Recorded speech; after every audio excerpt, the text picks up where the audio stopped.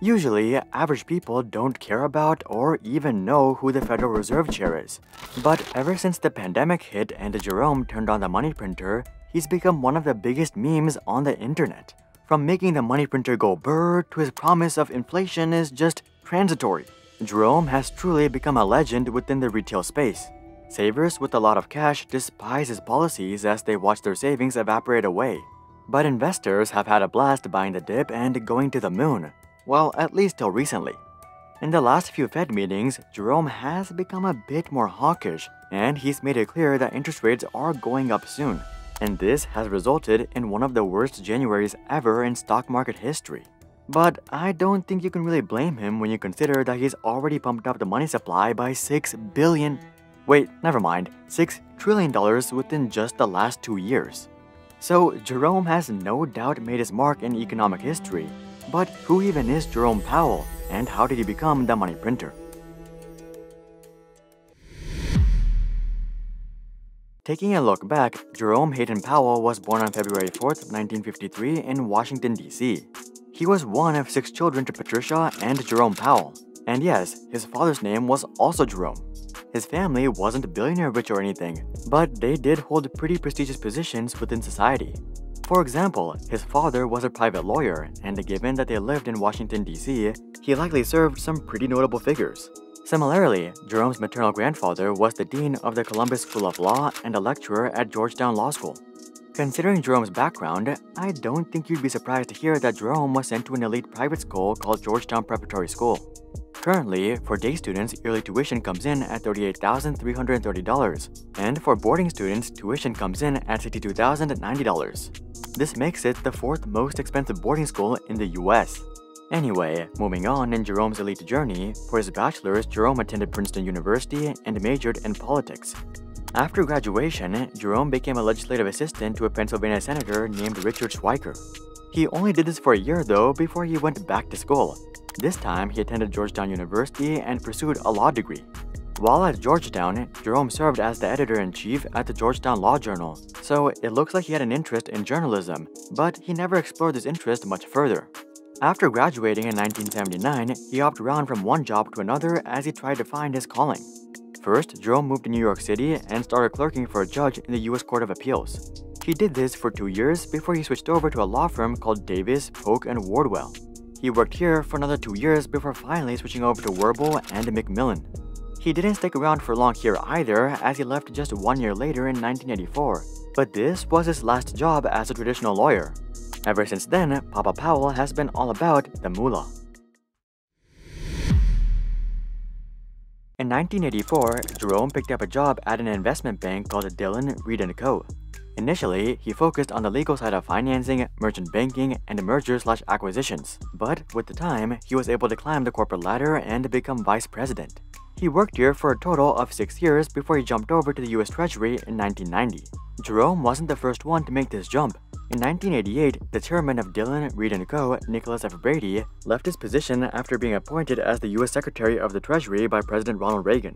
I'm not sure if Nicholas put in a good word for Jerome, but in 1992, Jerome was appointed as the Undersecretary of the Treasury for Domestic Finance by President George H.W. Bush.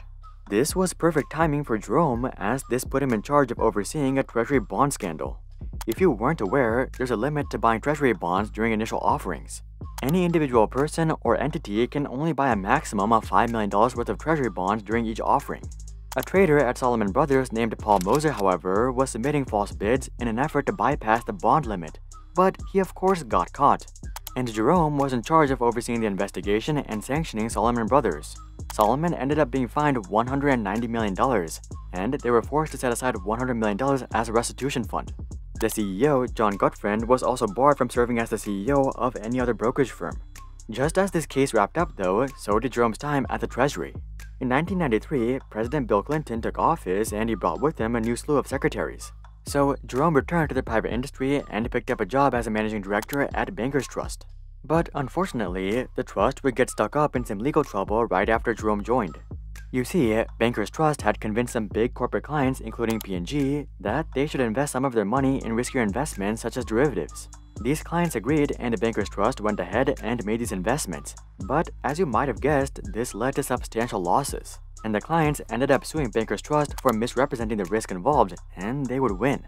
Clearly, this was not somewhere that Jerome wanted to be around for long, so in 1995, he packed his bags and returned to Dillon Read & Co. But this time, Jerome also had a bunch of side hustles going on as well. For example, in 1997, he became a partner at the Carlyle Group and founded the Industrial Group.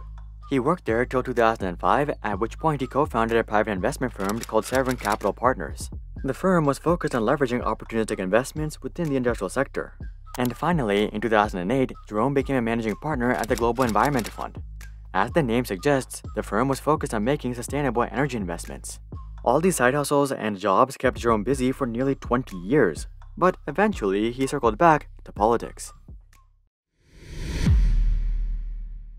Starting in 2010, Jerome served as a visiting scholar at the Bipartisan Policy Center, and this was once again perfect timing for Jerome as the debt ceiling crisis rolled around in 2011. If you follow politics, you'll know that every few years, Congress has to raise the debt ceiling. If they don't, the government will run out of money and default on their loans. Usually, it's a given that Congress will raise the debt ceiling, but politicians often like to use it as a bargaining chip. For example, the Democrats might say that they'll help the Republicans raise the debt ceiling as soon as the Republicans help them approve another round of stimulus checks or raise the minimum wage. Generally, one side gives in close to the deadline and things work out. But every so often, neither side gives in and we enter the risk of default. And one of these situations unfolded in 2011. As a visiting scholar, Jerome became one of the leading voices advocating for bipartisan support in raising the debt ceiling. He presented all the negative implications of not raising the debt ceiling, such as ruined credit and an irreparable reputation. It's not like the other politicians weren't aware of these implications. But the Bipartisan Policy Center ramped up the pressure to the max. Congress did eventually raise the debt ceiling, but it wasn't before being downgraded from AAA to AA+ by the S&P. In the meantime, President Obama was having a hard time filling a seat at the Federal Reserve. He had initially nominated a Democrat named Jeremy C. Stein, but Senate Republicans refused to approve his nomination. Obama had to nominate someone that Republicans would accept, and who better to nominate than the bipartisan man who was advocating for the debt ceiling to be raised. And with that, Obama nominated Jerome Powell to the Federal Reserve Board of Governors, and he took office on May 25, 2012. Two years later, Obama renominated him for a 14-year term, and the Senate approved this. So, Jerome isn't going anywhere till at least 2028. Now, this doesn't mean that he'll remain chairman, but he will at least be a board member. Anyway, ever since Jerome took office, he's actually mostly been a hawk. In other words, he's mostly supported tightening of monetary policy. In September of 2012, for instance, he was a massive skeptic of a third round of quantitative easing.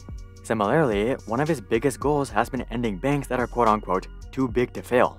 In 2017, he described the current state of Fannie Mae and Freddie Mac, the two biggest mortgage providers, as quote, unacceptable and unsustainable. He further elaborated that the next couple of years may be our last chance to end their monopoly and prevent past mistakes from being repeated. And Jerome soon got the perfect opportunity to take action, as President Trump nominated him for chair of the Federal Reserve in November of 2017. As soon as Jerome became chairman, he continued to raise interest rates and announced his plans to reduce the Fed's balance sheet. He wanted to reduce their holdings from $4.5 trillion to $2.5 to $3 trillion. At first, investors didn't care too much, but as the effects of his tightening started to take hold, they became more and more irritated.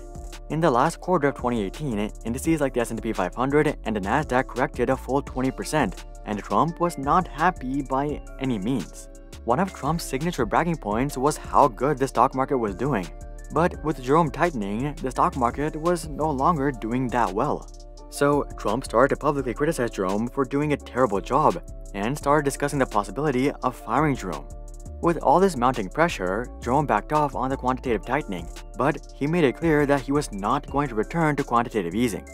He was just giving the market a chance to breathe, and he would return to quantitative tightening when appropriate. You could say that this aged like milk though, as COVID came around just a couple of months later, and Papa Powell turned on the money printer and hasn't stopped since. This has led to exponential runs in growth stocks, cryptocurrencies, real estate, and basically everything you can think of. From the very beginning, a lot of critics argued that this excessive money printing would lead to excessive inflation. Jerome acknowledges concerns by arguing that this inflation would be transitory, but this is honestly super misleading. When people hear that inflation will be transitory, they're led to believe that price hikes are temporary and that prices will go down. But this is not what transitory inflation means. Transitory inflation simply means that the inflation rate will go back down to average numbers. For example, let's say an iPhone costs $1,000.